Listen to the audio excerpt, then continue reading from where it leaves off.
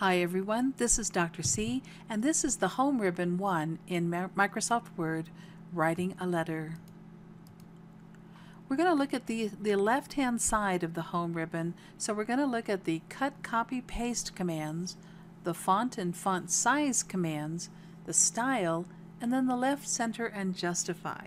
And you see them depicted here on screen. Well, let's cut to a letter, right? So here we are on the left hand side and you'll notice we're on the home ribbon and a ribbon is a set of commands that appear when you click any of these titles up above, the commands. So this is the home ribbon and for me to copy I need to highlight some text. I can copy it, right? And if I drop my cursor and bring it down, I could then paste it by clicking the paste command. Now I didn't want to do that, so I need to undo and look right above. The undo command is that left arrow. Okay. Now what if I wanted to change his name to Fido? It's not Rover, it's now Fido, right?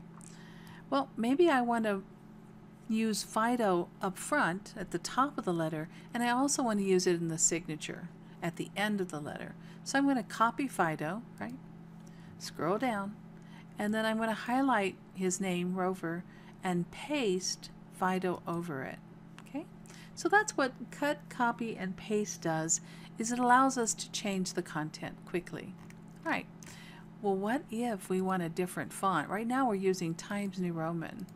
So I'm going to select everything, and I can do it with a Control key and an A key for Control for Select All, or I can drop my cursor in front of the F scroll to the bottom of my letter, hold down the shift key, and click right after the O and Fido and it's all selected.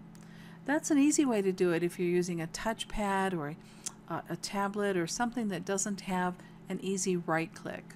Okay. Now that I have it all selected, I want to change fonts. I'm in Times New Roman. What if I wanted to go to a form of calligraphy, maybe like a letter, right? So we'll say Lucida calligraphy is our, uh, we have a very stylish dog, right? and of course he's writing to his new family saying, I need a new home, quick, come get me, right? Okay, what if we didn't want the date on the right hand side? Next we look at justification. So we have right justify, but we could make it left justify, see there? Or we could put it in the center. We could also take his information, his address, and we could center it also, right? So if you wanted the sender's information to look like letterhead, you could center it. You could right justify the date, and you notice I don't have to select all of it. I just have to drop my cursor somewhere on the line.